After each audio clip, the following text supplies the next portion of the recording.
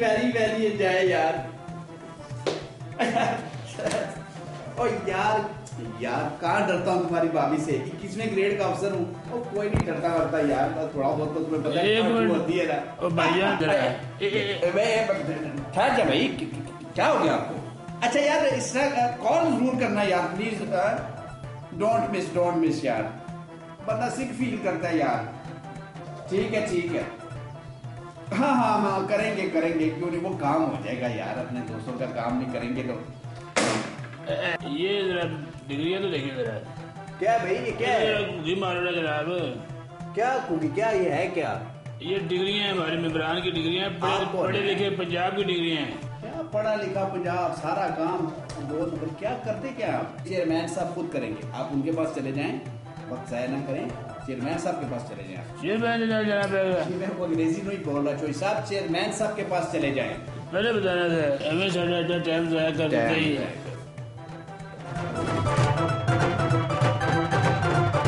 जो आप बात करते थे कि हमारी डिग्रियों का क्या बढ़ेगा क्या बढ़ेगा?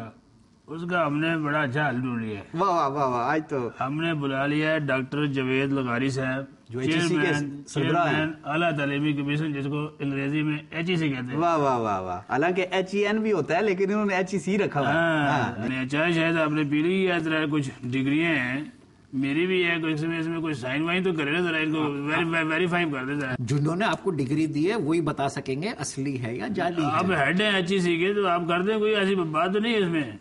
नहीं नहीं आप, आप, ये यूनिवर्सिटीज की डिग्री लगी हुई है बीच में। आप इलेक्शन कमीशन में भिजवा दें मैं कर दूँ आगे भिजवा दूँगा। आप और डॉक्टर साहब आगे चलाना हमारा काम है बस थोड़ी कुकी मारे जी आगे छोड़े आवे डॉक्टर साहब को मिंतला करे यार ये करें जी करें डॉक्टर साहब आज चल मेरे पास वो मेरे पास पावर नहीं है मैं सिर्फ़ पोस्टमैन हूँ। मैं अगले को लेके आगे पहुंचाता हूँ। डॉक्टर साहब- आप डाकी जी जी डिग्री के मामले में मैं सिर्फ़ डाकी हूँ। नहीं तो इतनी बड़ी पोस्ट है चेयरमैन आप है भाई आपके ऊपर मुकदमे बन गए आपके ऊपर इतना प्रेशर है। भाई क्यों मरवा रहे हैं? मुझे और मुकदमे बन जाएँगे। नहीं नहीं ये, ये, हमारी असली यकीन मानिए ये सारी यूनिवर्सिटी आप देखे जरा कोई नहीं कोई नहीं हमें नहीं नहीं जो साहब देखें डॉक्टर साहब आपका काम है ना तालीम आम करना हर बंदे को।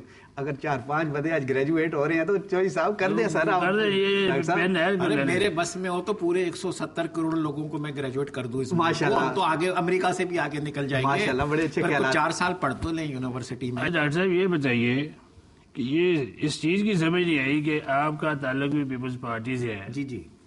आप सेनेटर भी रहे माशाल्लाह खुद भी एक मारे तालीम है डॉक्टर है। ये सारे मामला का आपको पता है।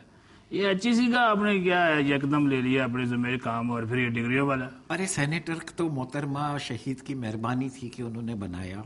हम्म। और वो उन्होंने इसलिए बनाया कि मुल्क में तालीम का निज़ाम पे हम फोकस करें। अच्छा, अच्छा। तालीम पे हेल्थ पे गवर्नेंस पे। हम्म। तो जब एक मौका मुझे मिला हायर एजुकेशन कमीशन का चेयरमैन बनने का कि जिसमें मैं तालीम के निज़ाम पे कुछ बेहतरी ला सकता हूँ तो मैंने एकदम ले लिया।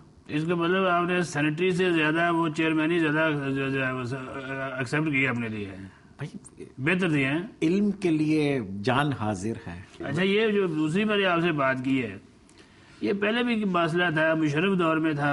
अब आप ग्यारह सौ बंदे हम मुंतखब नुमाइंदे अवाम के आप हमारे ऊपर ही पड़ गए इसके अलावा कोई काम नहीं है। भाई देखिए कानून तो था ना। चाहे गलत था चाहे सही था कानून लेकिन एक कानून था। अब तो नहीं है ना। अब नहीं है लेकिन आपने जब दरखास्तें दी जब आपने इलेक्शन लड़ा हाँ। तो आपने तो जाली कागज़ दिया ना उसके साथ। तो हमने तो बोला है कि बताओ ये कागज़ असली है या नकली है। नहीं तो जाली कागज़ आपने दिया था तो रिटर्निंग अफसर को चाहिए था उसी वक्त हमें वापस कर देता। करना तो ऐसा चाहिए था। है ये तो उसकी ज़िम्मेदारी बनती थी वो उसने रख ली है असली भी करार दे दी है। हाँ, बिल्कुल अब आपने हमारी शामत ले लिया है अब।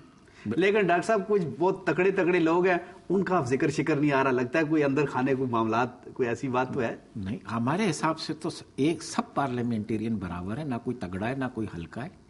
अच्छा मैं समझा कोई ऐसा भी है कोई? अच्छा वैसे मुड़िया डॉक्टर साहब हमने बातें बड़ी सुनी थी जाली अद्वियात होती हैं जाली खाने पीने की अशिया होती हैं कोई दो नंबर का माल होता है ये डिग्रियाँ दो नंबर कैसे आना शुरू हो गई हैं?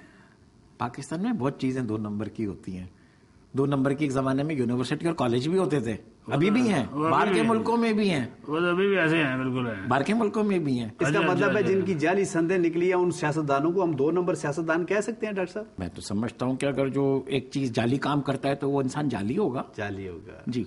दो अच्छा नंबर अच्छा तो इसकी सजा क्या है वो तो कोर्ट करेगी मुकर्र सजा। हम तो सिर्फ़ ये बताएँगे कि डिग्री असली है या जाली है।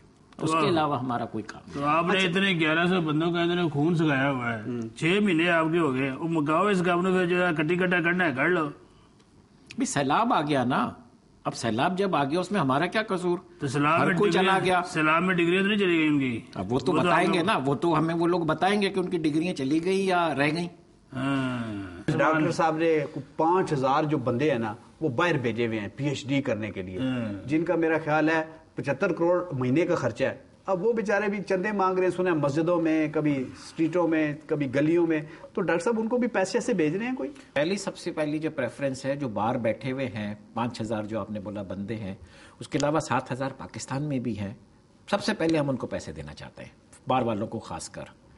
लेकिन मसला वो है कि जो नए 400 लोग थे, जो इस साल हम भेजना चाह रहे थे, जिनके वीजे भी लग गए, पासपोर्ट पे, जिनकी दाखिलाएँ भी हो गई तो उन्होंने सूटकेस बंद कर दिया था एयरपोर्ट जाने के लिए। उनको बोला रुक जाओ नहीं जाओ। ये बड़ा मसला है। लेकिन चोई साहब एक और बड़ी खतरनाक मैंने बात सुनी है कि वो जो पाँच हज़ार है ना उसमें से चार हज़ार नौ सौ निन्यानवे लोगों ने ना वहाँ गोरियों से शादियाँ कर ली है।